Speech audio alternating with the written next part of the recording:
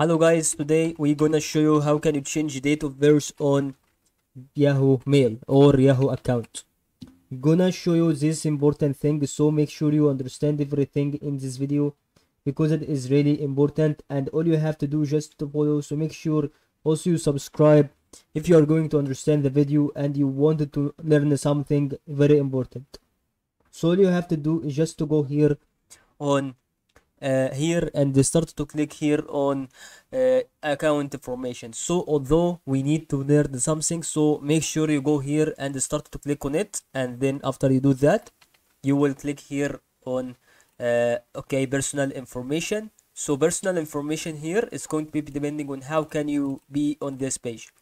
So click on personal information. You have here overview personal information. Then after that you will be directly to this page okay so then you're gonna click on update personal details.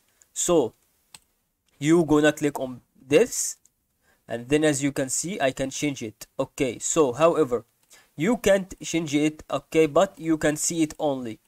So you can update it and don't know why we do it. So your date of birth can't be updated. So make sure you guys understand that I have mentioned it to you in this video to change it. So it's uh, you see that it cannot be changed. So I tell you in the end it has no chance to be changed and rather to be updated also. And that is all. Hope you understood this video